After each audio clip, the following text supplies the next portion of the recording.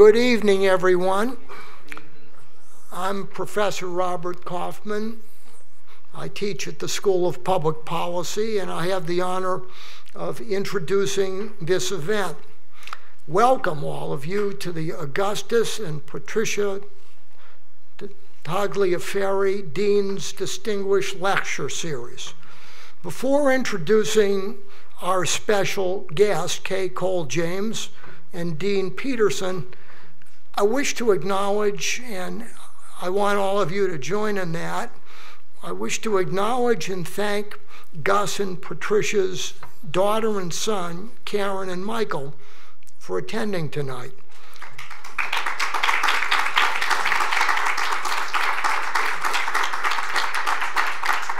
We greatly appreciate your parents making this evening possible. Tonight's Tagliaferri lecturer is very special, Kay Coles James. I will mention only selected highlights of her long and extraordinary career. Serving in the administration of George Herbert Walker Bush, uh, known as Bush 41 to some of us, in various capacities, Director of the United States Office of Personnel Management for President George W. Bush, Bush 43 from 2001 to 2005, former president of the Heritage Foundation, co-chair of the Virginia Governor-elect Youngkin Transition Steering Committee, Secretary of State for a year during the Youngkin administration, Kay Coles James is also the co founder and chairman of the Gloucester Institute, which offers leadership training to African American college students. She also works as a senior advisor to Governor Youngkin. Kay Coles James has served on many prominent boards, and this is something I uh, noted. Um, she has done continuing board education work at the Harvard School of Business. I'd like to recommend you to Harvard at large because their administration can certainly use your guiding hand, to say the least. Kay has received an honorary degree from Pepperdine University's School of Public Policy in 2003. She and her husband, Charles James Sr., are the proud parents of three adult children and have five wonderful grandchildren. Our own Dean Pete Peterson, the Braun family chair, will engage Kay in a conversation focusing on a theme especially appropriate for the School of Public Policy, namely the interfaith, interface between faith and politics in general, and how specifically Kay's faith helped her navigate the innumerable challenge that anyone of her stature will face in a political career. She and Dean Peterson will leave time at the end of their conversation for the audience to ask questions. So please welcome our guest of honor, Kay Coles James, and Dean Pete Peterson for what promises to be an inspiring and informative conversation. Well, it is great to have you back.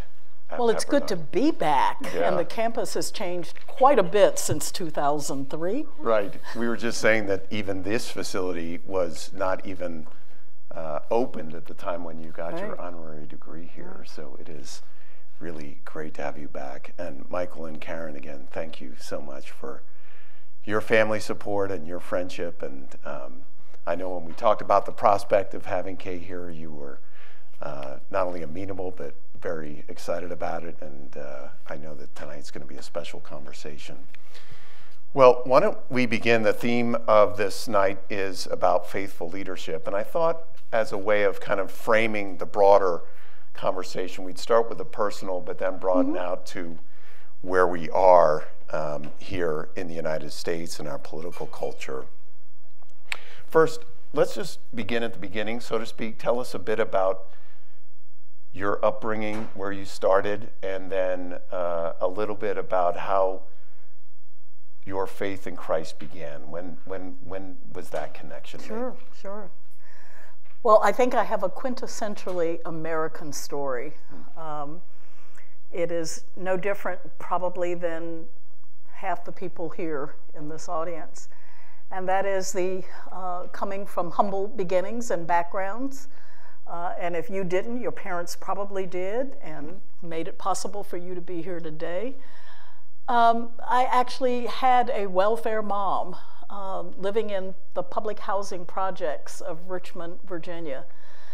And uh, growing up, I think, and coming out of that environment truly did help shape uh, public policy uh, much later in my life. Mm. Coming from welfare and then having the opportunity given to me by then Governor George Allen to actually shape welfare policy in Virginia was, mm. was incredible. Mm. But I can tell you that uh, coming out of that particular humble beginning and circumstance, being raised by a woman who was a woman of strong faith, uh, I think you would have to be to raise five boys and a girl in public housing alone mm. um, and survive. And mm. not only did she survive, but she thrived. And um, I can tell you that coming from a group of five rough and tumble boys made Washington a rather easy lift for me. I was used to food fights uh, and used to uh, strong arms and tough conversations mm. and discussions. And, you know, my faith journey is a real interesting one hmm. uh, because uh, I was sort of typical in our family, faith meant you go to church once a quarter, pay your dues, so that you have a church that you can get married out of and buried out of. Mm. And so that's what you did. Mm-hmm. Uh, and uh, so it wasn't a real strong element in, in the day to day lives of my aunt and uncle. I left living with my mother, went to live with an aunt and uncle when I was five years old. Uh, their faith uh, was uh, pretty much based on the model of four times a year to okay. pay the dues and mm-hmm. make sure you get buried properly. So it was a real interesting time when I turned the television on one night because back in those days you had TV dinners and you watched TV while you had dinner. And there was this gentleman on television and he was doing a crusade, and it was Billy Graham. Mm. And Billy Graham was saying that, uh, that Christ had the opportunity to make you the person you wanted to be, but felt powerless to become. Um, in Dr. Skinner's class today, we were studying the uh, 1960s, particularly the year 1968 and I was in high school at that time, and those were difficult years. Mm. And when I think about the stress that we had on us as high school students, dealing with the war in Vietnam, dealing with the assassinations, mm. dealing with the riots in the streets, uh, people who are concerned about where our country is today clearly don't know our history because we went through all of that. Mm and survived it. But all of those stresses I felt as a high school student. Mm. So I remember going back into my bedroom uh, after listening to him and saying, he said, if I turned over my life to Christ, he would give me the power to be the person I wanted to be but felt powerless to become. All right, I'll give it a try. And I figured I'd give him my life, and if he didn't do too well with it, or if he screwed it up, I'd take it back. Because why not? and uh, to show you what an obnoxious high schooler I was, I said, I'll give you a year, and I'll see what you can do with my life, God. And if I don't like it, mm. you know, you can hit the road. Mm. And thank goodness our house had not just uh, old but Old and New Testaments, and I found a New Testament because I said, if I'm going to give my life to this guy, Jesus, Christ, I thought Christ was his last name, um, then, then I would like to know something about him. Mm. Who is this guy? Who did he claim to be? Mm. What kind of claims does he make on my life? Mm. I didn't know anything about this person. Now I'm really going to date myself. I actually went to the library and went to the C's, because his last name was Christ. Of course. In the card catalog.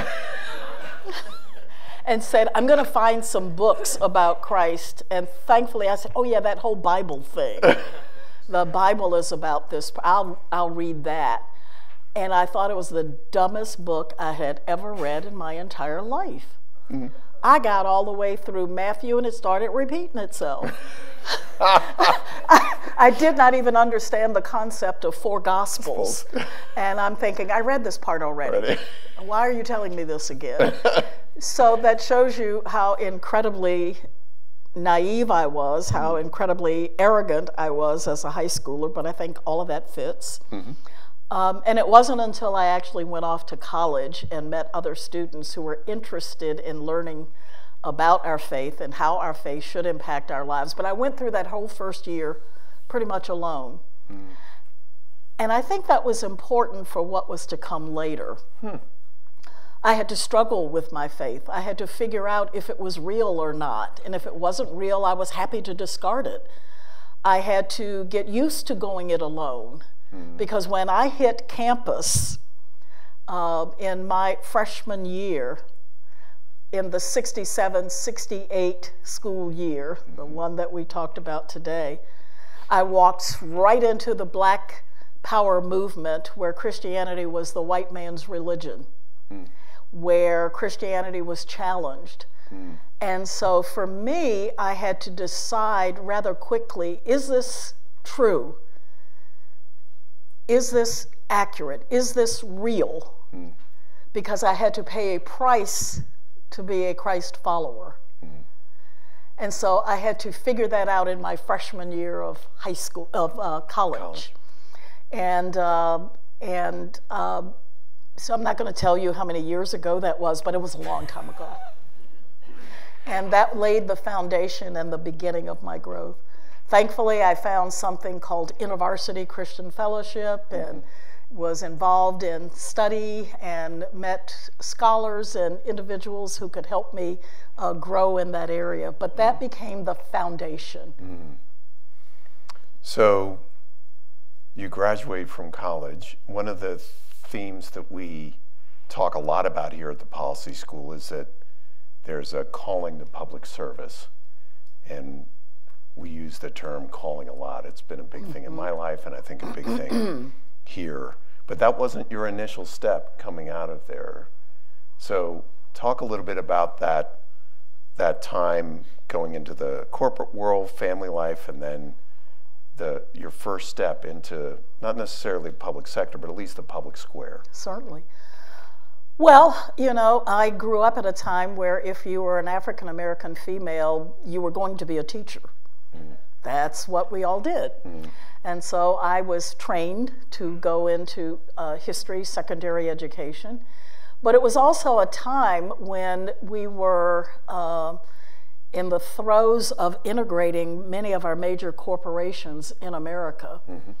And because I wanted to get out of college as quickly as I could, I actually finished all my coursework in three years mm-hmm. uh, and then did student teaching. And so I finished in the middle of a school year and couldn't get a job teaching. Right. And a friend worked at uh, one of the Bell companies mm-hmm. and said, They're hiring managers there. Mm-hmm. You should think about you know, taking a job there, which I ended up doing. And uh, to show you again how incredibly naive I was, it was a time when corporations were attracting and growing uh, their diverse workforces. And they said, Kay, do you have any more friends that you think might be interested in jobs in corporate America? Mm. And I said, I sure do, and took them three of my best white friends.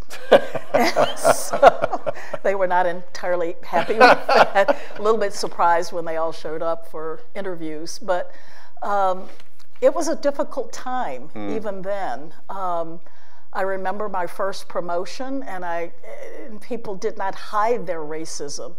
And uh, this woman walked past my desk and said, "I guess you have to be colored to make it in this company these days." And, you know, that's when I knew I was prepared for debates for later in life because I didn't even look up. I said, no, you just have to be good. um, and I, I, I used to encourage young African American students going into corporate America that they would face those kinds of walls and those mm-hmm. kinds of uh, bigotry. You just have to be good. Yeah. And when you're excellent at what you do, they can't ignore that. Yeah. So it was a difficult time growing up and, and integrating the schools in the South, uh, being the first among those going into corporate America. Um, I really did earn my stripes back in those days. What I'm sensing in your life story is God taking you through things in the early parts of your life that come, keep coming back mm. and back and back again. Um, this piece about, I guess we would call breaking down walls or barriers, whether as a woman or a woman of color or as a Christian. I've heard you speak in other contexts about facing challenges in all those dimensions throughout your life. And and until recently. And I wonder if you could, and I, I, wonder if you could talk a little bit about how your faith has grounded you when you have had to suffer those attacks mm. on things that have nothing to do with you in a sense, but um, but you still have to see God's calling in the midst of suffering, either treatment because of your race or because you're a woman? Well, it's even more complex than that. I said there's a lot about me that you could hate if you wanted to. Not only black, not only female, but the audacity to be a conservative mm. and to be pro life and to be a Republican. I mean, pick a category. I mean, I, there's a lot there for a lot of people not to like. Mm. And I, I have felt all of that. Um, Charles and I, when I was uh, speaking out on college campuses, there, there, there were times when I had to be escorted off campus by campus police, uh, where we actually had security.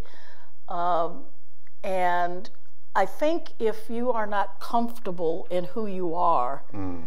if you are not uh, convinced of the calling that God has on your life, you must know that mm. in order to survive and to be sustained through some of the things that, that you will confront in life. Mm. Um, sometimes I think we paint too rosy a picture uh, for young people in terms of, of, of what lies ahead. Mm uh, and we don't prepare them well enough uh, to go out and face that. But to be grounded in Scripture, to be grounded in your faith, to know who you are.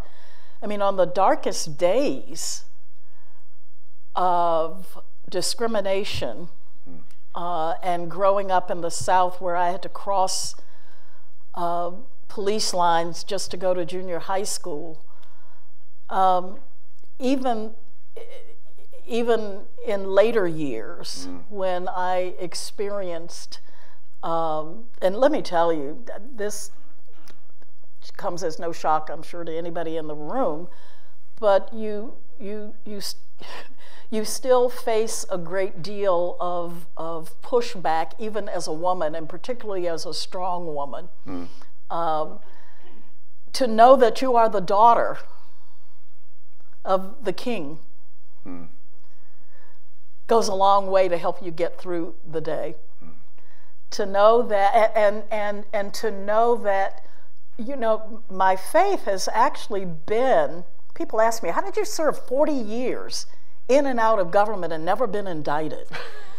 um, said, well, you know, when you are grounded in faith and you live by certain principles, those principles protect you. Mm. There are certain things you just don't do. And I would tell all of my students um, when I was uh, a professor of government that um, I would never, ever. And I encourage each and every student in here who's going into government or public policy never ever do anything that is either illegal, immoral, or unethical. Mm. And when you are based in that and hold to it, it protects you. Mm. And I don't care if the President of the United States, a cabinet officer, or chief of staff, or anyone asked me to do anything that was illegal, immoral, or unethical, I just wouldn't do it. And I'm telling you, that's going to be your protection. And the opportunity to fudge something, to, to backdate a document, to, to, to cover for your boss for some, just don't do it. And I have had to walk away from jobs because I refuse to. Mm. And um, in every single step of my career, whatever momentary loss that was, was made up many times over mm. down the road. So I think that my faith protected me mm. in 40 years of public service, mm. and I never got indicted. now, that transition from your time in the corporate world into the not necessarily public sector, but first the kind of public square came through the pro-life movement. It did. And one of the things I also found fascinating about coming to learn about that transition for you is not only were you overcoming a number of different things around uh, that, that spring out of a very polarizing policy in, in the United States, but you overcame some personal things having to do with seeing yourself as more of an introvert, but oh. being moved into a place where, as a spokesperson and being someone out there, you know, in the public square, again, around a very fractious issue, I think about the many biblical characters who, at different points, like Moses, for example, just says, you know, I'm, I'm not your guy. Yes. Right? Um, talk a little bit about what that was like and how you had a sense of God's calling into a place where it was very uncomfortable. It must have been very uncomfortable. It was extremely uncomfortable. Um, the Charles and I both were very concerned about the condition of the black family. And recognizing the important role that family plays, we had made the decision that when we began to build a family, I would become a full time stay at home mom. And I left corporate America, and we actually had the conversation about which one of us would make the better stay at home person, mm-hmm. and I won. um, and um, I actually write about the fact that I did not have the confidence to read scripture at a women's Bible study out loud at our church because I was that hesitant to be in front of an audience. Hmm. And uh, so I say to to young people and, and especially women today, I accept no excuses. Uh, because when I first stepped out, uh, I got a phone call and I was asked to debate the abortion issue on national television. Mm with a representative from Planned Parenthood. And I am fond of saying the most controversial thing I had debated at up to that point in time in my life was standing in front of the refrigerator going, chicken or hamburger? Which should we have for dinner? It was, it was only that deep and only that complicated. So the thought of stepping out on such a controversial issue uh, but several things compelled me to do it. One was my family. Two, because I thought it was the greatest civil rights issue of our time, and if I were given the opportunity, I should speak out. Mm. Uh, three, because I felt that preborn children didn't have a voice. Mm-hmm. Um, I felt I was a pro life feminist. I really do mm-hmm. view myself as a feminist. Mm-hmm. Uh, I refuse to give up that title. Um, and uh, so I got thrust into that. And the next thing you know, I was asked if I would do it full time. Mm. And I had no desire, no desire to do debates, and I mm. debate, debated at that time all over the world um, mm. the life issue, and um, I,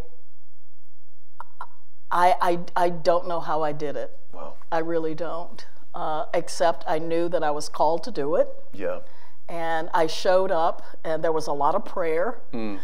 and there was a lot of God, give me the answer to this. And so I have had the opportunity to work with uh, many of our politicians uh, in terms of how to frame that issue, how to mm. talk about it. We do a very poor job of it, mm. very poor job of it. Mm. And uh, so, yes, I made that transition from corporate America when I got the phone call from the National Right to Life Would you leave your corporate job and come and be a full time spokesperson for the National Right to Life? And I said, absolutely not, and hung the phone up. and went home that night, and my kids actually were the ones who said, But mom, you said if God ever gave you the opportunity mm-hmm. to stand up for the greatest civil rights issue of our time, you would do it. And so they shamed me into taking the job. And I quit my corporate job, took a huge pay cut, and went to work in the pro life movement. How did your faith actually, you mentioned prayer as being an important part of your life. How, how did you sense it, especially during that time when you were going around the country, around the world, debating? You know, you're overcoming, obviously, some of these internal tensions about being out there and uh, and at the same time, not only are you public speaking, you're actually in debates with others. How, how did that help shape your faith, or how did your faith sustain you during that time? Well, you know, I'm studying Hebrews right now, and one mm. of the things that really mm. jumped out at me was is um, that God calls us to obedience. Mm. And I wish I could say I was a happy warrior. I was not. I went kicking and screaming at everything I ever did. Mm. I didn't want to do it. I didn't want to be there, but um, um, I knew that I had been called to be there, mm. and um, uh, I, I, can remember a particular debate at Princeton University. And it was uh, one of the top pro choice leaders in our country, and I was mortified. Mm. I was sick for three days leading up to that debate. Mm. And it was fascinating to me um, when you make yourself present and available to be used, how God shows up. Mm. And I have seen that happen in my life over and over and over again. Mm.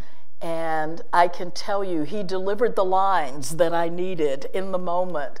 Um, and I, I, many of the debates that I did were quite formal, and mm. they were scored, and mm. they, and and there were those individual on campuses who had to give me the debate for, although they hated my position, but they would say, "Well, yeah, you won the debate," um, and I can take no credit for it. I was a sniveling, scared, petrified, mortified, showing up person, wow. but trusting that God would provide, and He always did. When I left the Heritage Foundation, um, many said, So, what's next for you? What are you going to do next? And I said, I'm going to go home, sit on the couch, and watch I Love Lucy reruns until God tells me what's next. and it only took about a week and a half, so yeah. I didn't get very far. Yeah, yeah. So the transition then into government, um,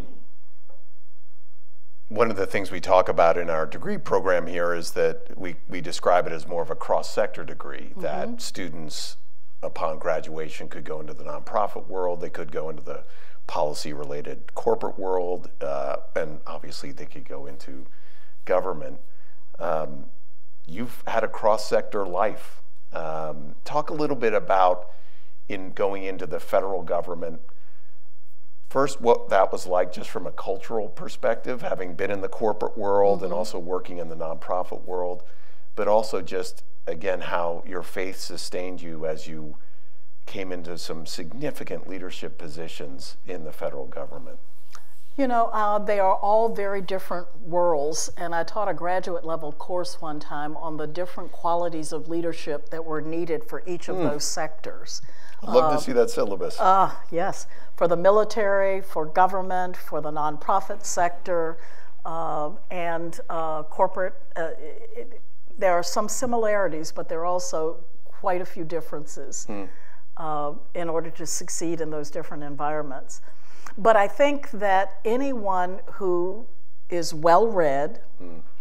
knows how to analyze data and information, uh, loves solving problems. Um, I tell staff when I hire them if you don't enjoy eating problems for breakfast, you probably don't want to work for me because we embrace problems. Uh, we love them. Mm. Um, and so, um, I, I, and, and, a, and a huge work ethic. I would say to anybody in public policy, uh, one of the ways to succeed in that environment, whether you're in government or in a nonprofit or in a think tank, is you may not. Everybody here is smart. That's the entry ticket. Mm. That's what gets you in the room. But that's not what's going to make you succeed in that area. And what's going to do it is a work ethic. Mm. And I tell young people as they're going into government and public policy that you're going to work harder than you've ever worked in your life. I am always the first person there in the morning and the last person to leave in the evening. Mm. And it's 24 7. Mm. And if you're ever going to come work for me, you've got to be prepared to take the call on Saturday morning. I just thought of this. Mm. This is a great idea. Can you flesh that out? And let's talk about it when we get together on Monday. Um, but I have found that those skill sets will serve you well in any of those sectors mm. that you go in. Um, people always, always look to individuals who are talented, sharp, bright, but boy, do they value hard work. Mm. And that's what I think uh, is sort of the key to all of all those of various those. sectors. Now, how did faith play an impact um, in all of those? Um, again, I would say it is it is an armor. It is mm. it is what what steels you to be able to survive in any of those environments. Mm. Uh, corporate America is as political as any political party I've ever been in.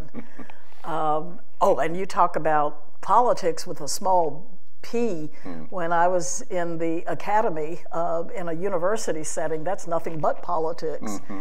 And uh, learning how to navigate all of that mm. uh, and maintain your integrity and your character and your faith is so important. Mm.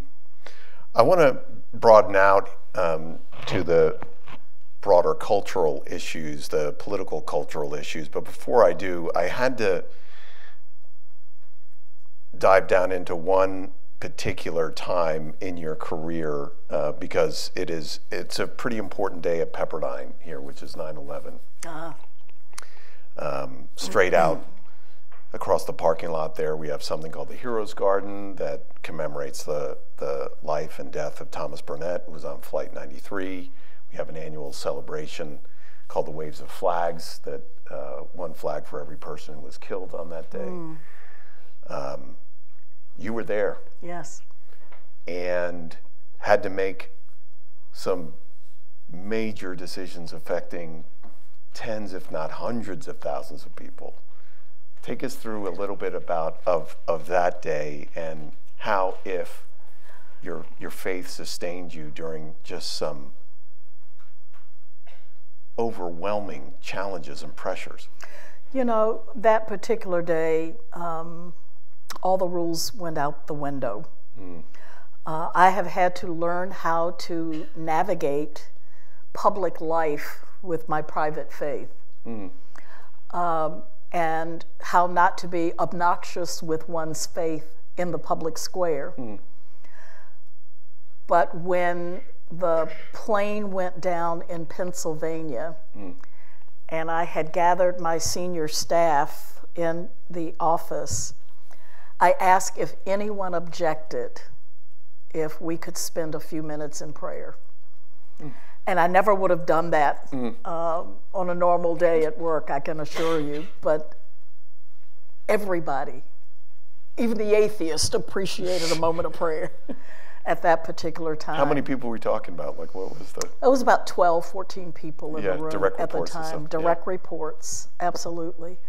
Um, Hmm. And then after that, um, you know, realizing that people are all at different emotional uh, stages in their lives and different personal pressures. I wanted to give anyone who was in that room the freedom to leave, to go check on family, to, to you know get children out of daycare centers. But I also needed a core team to be able to continue to run our government. And I'll tell you, at that moment, I was shocked at who left and who stayed. you think you know who in the individuals are and and and you know what kinds of decisions they would make in a circumstance like that. But um, the purpose of terrorism, quite frankly, is to terrorize. And all I knew in that moment was that uh, God was in control. Uh, my life and those of all around me were in His hands, and that I had a job to do. And I didn't have time to be terrorized. And so we worked that day all the way up until 10 or 10:30 that night. Charles was on the other side of the country, um, and I had to go home to an empty house that night. Um, and um, it is in moments like that when your faith really does matter. Do you believe God? And I remember Charles having said to me in another circumstance, if you say you believe God, then act like it.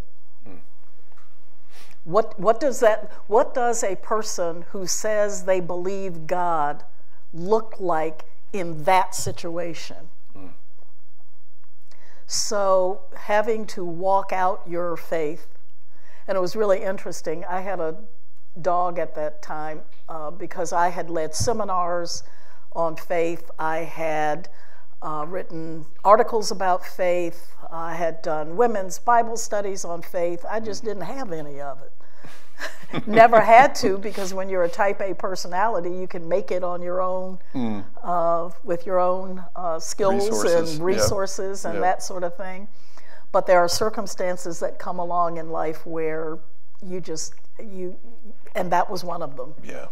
Um, and so I heard Charles's voice in the back of my head saying, if you are a person of faith and you are in charge of the entire federal workforce during 9 11, what would that person look like, act like, and do? And so I just did that until I got home that night and was able to break down uh, by myself in my house. Um, but uh, but being able to walk in your faith when it's real mm-hmm. and not it's not academic. Right. you're in those situations where you really have to walk it out. Mm-hmm. And certainly 9-11 was one of them. It was one of the most terrifying days ever. I mean my office there were rumors going everywhere and i looked right out my window and they said there was a car bomb right at the state department. Turned out there wasn't but mm. um, we knew any minute we we could be gone. There were rumors of other planes that were headed to buildings in Washington, and we were blocks away from the White House. Um, and I would say one of the things that I covet for each and every one of you is the opportunity to have your faith tested. Oh, that's a horrible thing to say uh, because I know what that means. But when you come out the other side of it, when you walk, as, as a friend of mine who's a pastor says, when you walk through the miracle hmm. and come out the other side, uh, you come out tempered and stronger hmm. and, and ready for the next battle. Hmm. That's so good. So, we're having a conversation, but you are a great lecturer. I mean, I listened and watched a dozen of your speeches in preparation for this. And uh, I almost feel ashamed that I'm interrupting you with questions because you are a great speaker. The speech you gave, the commencement address at King's College a couple of years ago, was tough. Mm. In that speech, you spoke prophetically, as you often do. But in particular, in that speech, you spoke about your sense, and to quote your words, which is obviously quoting from a somewhat famous television series, the winter is coming. Mm. That what you're seeing in our political culture really gave you a sense of deep concern for the state of our public institutions, for the state of our politics. At one point in that speech, you said that you had a sense that the threads of democracy were unraveling, I think was your exact mm. phrase. And here we are, two and years here later. Here we are. So, what is, what is your sense of where we are now in our politics? And as people of faith, it feels like one of the exacerbating factors for the winter is coming period is that we had also, as with so many other parts of our country, appear to be on the edges. We're either over engaged and over focused on politics as the only way to realize whatever good future comes or whatever bad future can be avoided. Or we can take what is uh, one author called the Benedict option, which is to stay away from politics. Politics is a dirty business. We don't really need to get involved in that. And that's just all temporal kind of stuff. And God's going to have his way anyway. So why even vote, some have said. Mm. How do we strike a balance? How do you see where we're at in this moment? And for people of faith, I, I don't even want to say encouragement because we are, there is, I share your sense of foreboding about where we're at uh, it's what gets me up in the morning, but at the same time, it's you know makes it difficult to go to sleep. Sure, sure. Um, what would be your your thinking, your assessment of where we're at? Do you still have that sense of winter is coming? Okay, I do. Okay. Um, but it was a good reminder today in class as we studied 1968, mm. and it helps to be old. Mm because I was reminded of where our country was then mm. with the riots in the street, mm. with the Vietnam War protests, mm. With the, all of the assassinations and what we're going through. 1968 makes this look like a piece of cake, hmm. actually, hmm. truth be told. Hmm. And there were those who thought we would never survive that as a country. Uh, it was interesting to me. I, I really felt like the unrest at that time uh, uh, was largely coming out of the left, and a lot of the unrest I see today is coming from the right. Mm-hmm. Doesn't matter, it's all um, um, politics. How do we as Christians respond to all of that? I think, I think we walk out what it means to be God's people in a in a hurting, crazy world. Mm.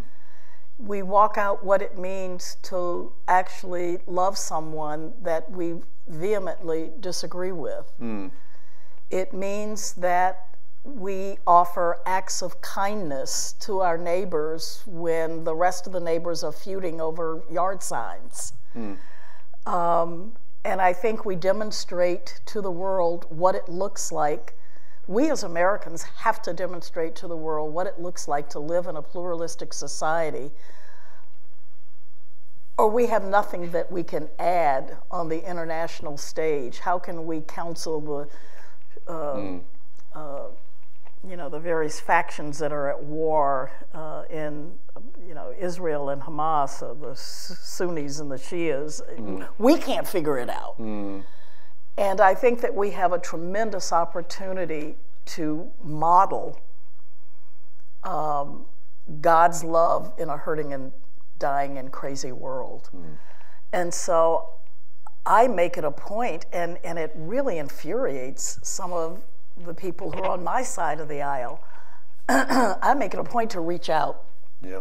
to people on the other side of the aisle and remind them that I'm trying to build bridges there. I'm trying to win them over, not mm. blow up bridges. Mm. How do you how do you how do you grow people, bring people to your side? Mm.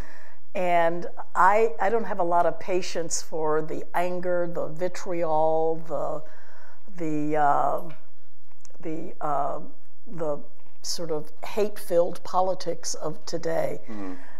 and I don't say that pointing at any one side because I was the beneficiary of it from the left. Mm uh, long before when people say, you know, Donald Trump brought this new day into American politics, and I'm going, where were you when I was getting running off, run off college campuses? Mm. Where were you when I was called hateful names? Where were you when the Democrat Party kicked me out because I was pro-life? I, I mean, I, I, I saw it from there. We, mm. This didn't start just recently mm. uh, with uh, politics today. This has been a simmering pot. Mm. But the good news is, having lived through the 60s, I know that this country will, can, and, and will survive. Mm. Uh, I have a great deal of, of faith in the documents that our founding fathers gave us in terms of how to resolve conflict in this country. I have a great deal of trust in the checks and balances that are there. Mm. Uh, this country is bigger than any one person or personality. Uh, so I tend not to be discouraged. Mm. Um, but I just think we live in some interesting times that we will survive. So we're going to go to audience questions here in a couple minutes, and we're going to do those via question cards. So uh, those cards should be in your um, brochure uh, agenda for the event. And if you have questions, pass those down, write them down, and pass them down to Melissa, and we'll integrate those here in a couple minutes. As I said before, you've worked in breaking down a lot of barriers, and some of those barriers are still there. Indeed. In another interview I heard you give, you coined a phrase that I haven't heard before, but I think is, I think is uh, very provocative. And in the area of race, you said you're not so much about racial reconciliation mm. as you are about racial conciliation. Reconciliation understands that something was conciled that needs to be reconciled. And we haven't had that. That's right. We've had progress, but we haven't had, certainly, we didn't, never started in a place of conciliation. And so, especially in the areas in which you have worked, and worked is not even sometimes the, maybe not the right word here, the places where you to borrow from Paul in Acts, where you live and move and have your being. Mm. And by that I mean within evangelical circles, mm-hmm. within the conservative movement. There's still some racial conciliation that needs to happen. And I wonder if you could talk a little bit about that and and again to the degree how your faith sustains you in the midst of probably audiences that think that everything is okay? I'll tell you, um, learning the lessons of forgiveness will help you survive a lot in life. Mm. um, probably one of the more difficult tasks for me as a conservative, and I have often had to say to conservative audiences, I defy you to challenge my conservative bona fides mm-hmm. um, in any area, whether it's foreign policy, economics, mm-hmm. domestic policy, you name it. So, having said that, I would expect that you would allow me, as an African American, to be able to say that race is still an issue in America today. Mm-hmm. And it is amazing to me that there are individuals who want to deny that, which means that they are asking me to deny a very important part of who I am and what my life experience has been. Mm-hmm. This year, this year, I have grandchildren who've been called the N word in school. Not 30 years ago, this year. This year, I have a grandson who was called a monkey and lots of other racial disparities. I could go story after story in our own experience as adults, what Charles and I have experienced mm. in terms of race and racial discrimination. Mm. For me to acknowledge that racism is still a problem in our country today does not mean by any stretch of the imagination that I believe that America is a racist country because I don't. Those are individuals. But how can you ask me, who is a bona fide conservative, to deny my own existence and my own life experience? And I thought that I would not have to fight these battles for my grandchildren, but I still do. I still do. And um, and if I, uh, I have to extend grace to people mm. in understanding their background and how they grew up and why it's difficult for them to admit that race is an issue in our country today. Mm-hmm. So the ability to forgive and to extend grace is something that I think as a Christian has sort of helped mm. me make it through some difficult times when I am talk about election deniers, race deniers, you know, denying that racism is a problem or an issue in our country today, is something that I was asked to do as a black conservative, and I just won't. What is your advice to our graduate students who are going into this world of politics, whether they happen to be students of color or not?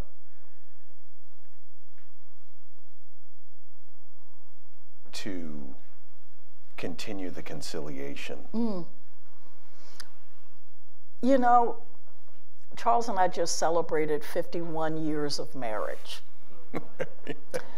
and on any given day, we can find 10 different things that we disagree about. you don't have to have such a hearty yes. um, and so as you walk through this world, through life, you come into contact with people that you disagree with, mm. that you have a different point of view, mm. that you have a different opinion. Mm. And I think that one of the things that has helped me the most is being a, a follower of Christ. I've been given the tools in order to navigate that. Well, patience, forgiveness fruits of the Spirit. Love. Well. And so those things equip you. Well. I've had I've had racists as close friends. Hmm. And dearly love them. Hmm. Um, I have had women who worked in abortion clinics as friends. Hmm.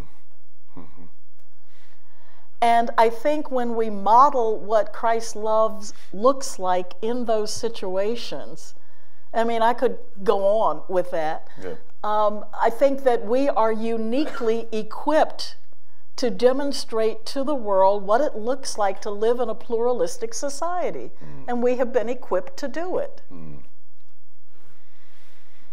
Man, that's so good. Uh, first question, and I will not give everybody's name, but this first one I must say comes from our own Dr. Skinner. Now, wait a minute. Which has been mysteriously placed at the top of the deck. I'm sure she had nothing to do with this. Tell and no, I'm not sharing my pound cake recipe with you. Tell us about your Senate confirmation hearing where a senator prayed while they questioned you. Oh. Anybody remember Senator Bill Armstrong? Oh, yeah, Colorado. Colorado. Yep. Um, I was going through a confirmation hearing, mm. and I was, I, I was surprised that as I went through the hearing, I was expecting him to jump in and ask a softball question or, or you know, defend me in some way, and he sat there the entire time and he just looked. And it was about halfway through the hearing when I realized, oh my word, he's praying. Mm. He is praying. And the sense of calm that came over me at that point, because Senate confirmation hearings are not easy. Mm. They are very, very difficult to go through. Mm. And, uh, and the effect that that had in that moment, mm. uh, I, I, I, he and I became very close friends, and I uh, admired and respected him a great deal. But to have a United States Senator praying for you when you're going through a confirmation hearing is really special. Uh, I also should acknowledge and give thanks to Joe Biden mm. because he made every one of my children Republicans. How was that?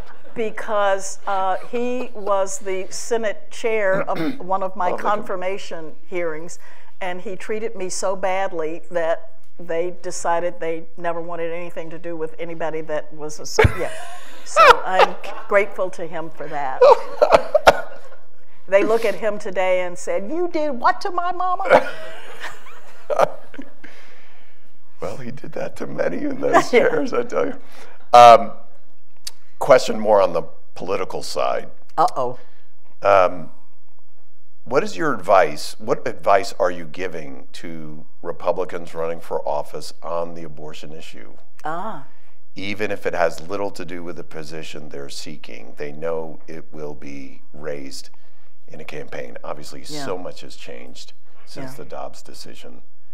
Um, you, well, in some ways, this was the realization of so much of the work that you had done on the early stages of your career, and now Yes and no. Mm. Um, so I think that we are where we are on that issue in our country today because we got lazy. Mm. The tough work is in the education piece.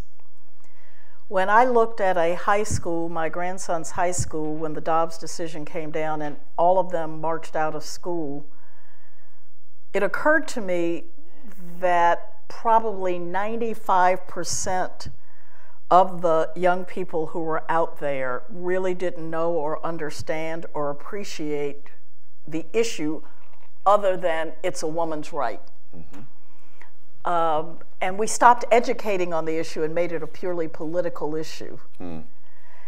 And I believe that at this point, where we should be as a movement, and we don't even, it, it, it's, a, it's an issue that belongs, I think, in the culture, and, and it, it's an issue that we should be taking on in the cultural and not the political arena at this point. Mm. We failed to educate an entire generation about why this matters. All the focus was on Roe. All the focus was on the politics of it right. and overturning Roe. And we don't know what we're overturning or why. Mm. There's an entire generation out there that don't that doesn't understand that this is a civil rights issue that there's a member of the human family that's being discriminated against because of uh, size, age, and place of residence. Mm. There's an entire generation out there that doesn't understand. They're debating who's right, and they're not debating whether, whether we as a nation think that the way that we solve our problems is to reach inside mothers' wombs and kill babies. Hmm. We, we, we haven't explained it. We haven't won the argument. And if you can't win the argument, you will never win the political side. Hmm. And so I think at this stage, it needs to come out of the political arena and go back into the education and the cultural arena. And we need to do a better job of explaining why. Mm. And we haven't done that. We have time for a couple more questions. And this, what you've just said, actually segues, I think, nicely into this question. It feels like in politics today, people tell you to, quote, play the game of the intense polarization in order to succeed because people don't like those who reach out to other people on the other side. So, how do you balance wanting to be in a position to um, to love others, but not wanting to play that game? You mentioned that kind of reaching out to persuade, mm-hmm. as a, right? Okay. Um, first of all, if you go into politics, I think we have too many activists in politics today. Mm. Uh, politics is the art of persuasion. Politics is the uh, art of getting to 50 plus one. It is politics is consensus building, um, and and what we have now are people who, if they don't get what they want, want to burn the house down, mm. as opposed to people who want to come together and solve problems. And um, I I am in the category of people who believes that you get the best deal you can and go to live to fight another day. Mm. Uh, I am not going to throw a tantrum if I don't get my way. Mm. What I am going to do is to spend the rest of the time I have with you trying to convince you and pull you over and win you over. Mm. We don't try to win anybody over anymore. We just yell at them. Mm. And, and a politics is the art of persuasion. And if you can't persuade 50 plus one of the people of America to go with you, you lose. Mm. You lose, and you should. All right, last question, and I'm just going to stream together a few uh, a few similar ones here. Um, it's kind of captured uh, captured in this one question. As an African American conservative, um, and you discussed that you receive backlash about that in certain sec- sectors. And as a Christian, what is the driving force that keeps you going and standing firm in who you are? Knowing the God that I serve is the driving force mm. that keeps me going. Um, is there a point in which you say, in say whether it's the racial conciliation work, which I think should now mm-hmm. be a term of art or on behalf of women that you just say, yeah, just enough is enough? You probably heard me say this in one of those, I can't believe you listened to that many speeches, but I said, I, I get up every morning and I suit up and I go back to work because I want to leave my grandchildren an America that's at least as free as the one I inherited. Mm. When you look back at my 75 years on the planet, where we were as a country 75 years ago and where we are today, a lot of what happened happened in warp speed, and it happened on my watch. Yeah. This happened on my watch. And when you love your family, and when you love your children and your grandchildren, and you want to leave a world for them that's at least as good as the one you inherited, mm. I think that's the thing that motivates me every day. Um, I have five of the most incredible grandchildren ever. And I know every grandmother would say that, but mine really are. um, and I think about what I'm leaving them.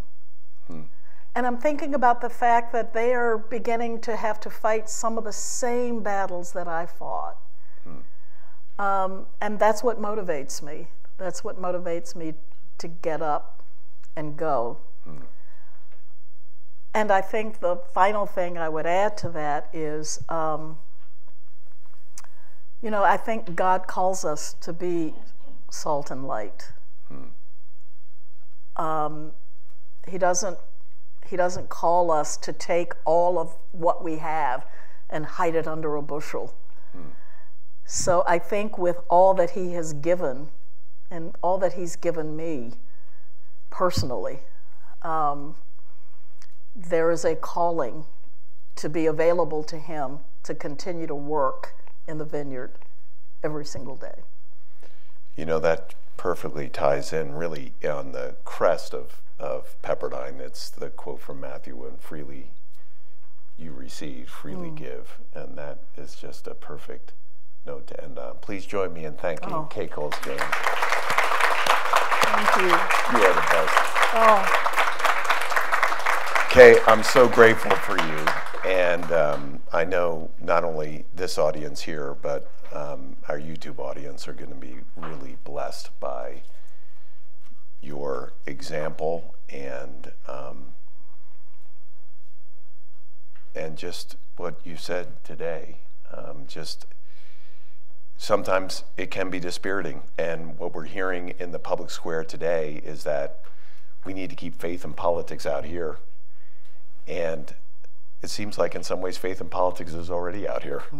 We need to find ways that our Christian faith can guide us because we believe in calling and we believe a calling to public service and staying true to that and that identity and your encouragement on that. well, I just want to say that I was encouraged by being here and being on campus, um, knowing that there are troops coming behind me, knowing that uh, meeting the students and recognizing their desire to go into government and public policy is such an encouragement, such an encouragement. And I also want to thank the donors who are here. Um, your return on investment for this country um, is is just phenomenal. Um, and thank you uh, for for keeping Pepperdine uh, um, in your thoughts and your prayers and in your checkbooks. Well, thank you. I think we, we've got uh, some refreshments outside. Um, again, thanks so much for, for joining us and uh, look forward to seeing you at our next event. Again, thank you.